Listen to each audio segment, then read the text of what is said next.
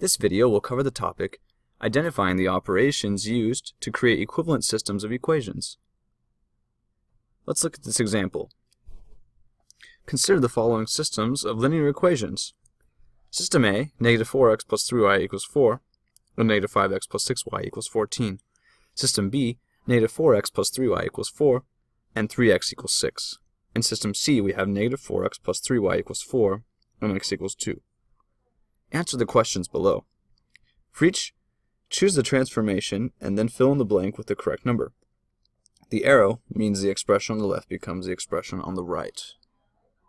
A system of linear equations is a group of equations that share the same variables. For example, system A has two equations that both have the variables x and y. If there is a pair of x and y values that make both equations true, those values are called a solution to that system of equations.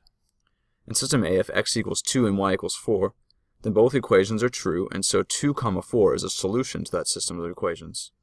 An equivalent system of equations is another group of equations that shares the same variables and have the same solution. For example, system B is an equivalent system of equations because it also has x and y as variables and the solution is 2 comma 4. System C is also equivalent for the same reason. In this question, we are asked how to transform one system of equations into another. What can we do to transform one system of equations into an equivalent system of equations? There are three operations we can do to transform a system into another. Our first option is multiply an equation by a constant. Our second option is add two equations together. And our third option is add a multiple of one equation to another. Let's try to figure out which operations were used in our problem. To get from a to b, we can see that the first equation stayed the same. This means that there was no operation applied to that equation. However, equation 2 clearly changed. Let's try to figure out what operation was used to transform it. Our first option is that a2 was multiplied by a constant to get b2. Is that what happened? Well, there's no number that we could multiply the first equation by to get that second equation, so I don't think that's it. You're right, that's not what happened. Let's try option 2. Were the two equations added together? Well, if we add them, we would get minus 9x plus 9y equals 18. So I don't think that's it. Okay, great. Let's try option 3. Could a multiple of equation 1 have been added to equation 2? I think so, but I'm not sure how to figure it out. Well, I noticed that in equation b2, there is no y variable. This means that when we added a multiple of equation a1 with equation a2, the y variables canceled out. So what should we multiply equation 1 by to make this happen? Well, equation a1 has plus 3y, and equation a2 has plus 6y. To make those cancel, we'd have to multiply 3y by negative 2 to make it a negative 6y, right?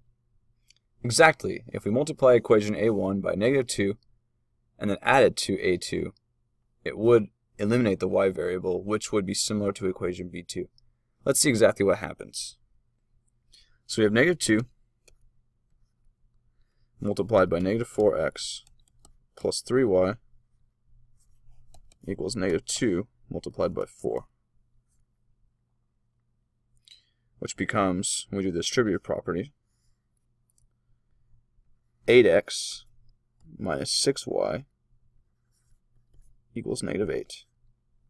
And then we combine this with equation A2, which is negative 5x, plus 6y equals 14.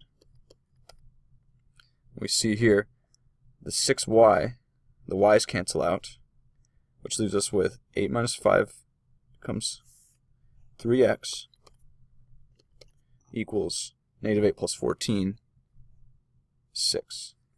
3x equals 6. That's equation B2. Right. So we discovered that to get from system A to system B, equation B1 is the same as equation A1, and equation B2 is negative 2 times A1 plus A2. Awesome. Now what? Now we have to figure out how to get from system B to system C. Well, I see that equation C1 is the same as equation B1. Right? And it looks like equation C2 is equation B2 divided by 3.